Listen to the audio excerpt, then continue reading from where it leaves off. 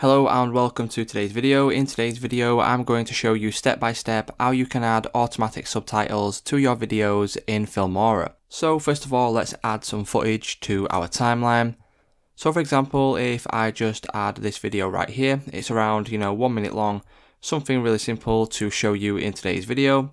So all we simply need to do is make sure we've got our clip selected right here and then once we have got our clip selected we need to come to this bar right here just above our timeline and then we need to head over to this option right here, speech to text, click on this option and then we can now select our language, click on the drop down menu and you can choose from any of these languages available on Filmora. Once we do this, all we simply need to do is click on the OK button. This will then transcode and upload your text. This should only take a couple of minutes and then once this has finished, your text should appear now on your timeline so as you can see, the text has now appeared. What we can do now is we can double click on this right here, and then this will open up this window where we can now customize our text.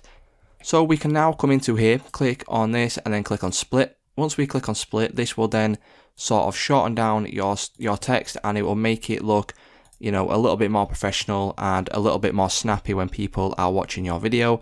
So you can go through and shorten down the sentences that you have got on your video.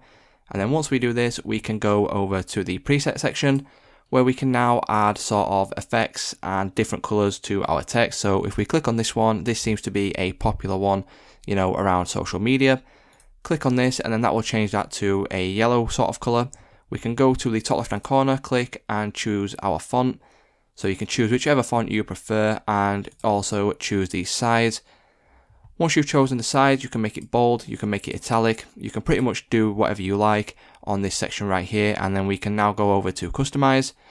Once we go to customize, you can come down, you can make sure you have an outline, you've got a shadow, you can even add a background if you want to do that. You can choose sort of the opacity of your text.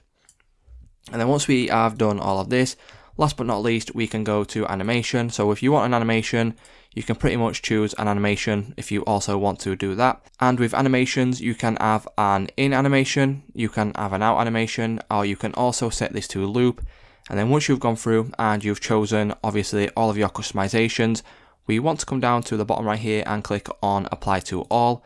And then once we do this, this will then apply it to all of the text along the timeline. Click on OK and then we can now kind of see what our text would look like. So as you can see, this is kind of what it would look like. I would suggest you go through and take a little bit more time and care with this to make it look a little bit more professional, but this is the overall idea, and this is how you can get subtitles on your video on Filmora.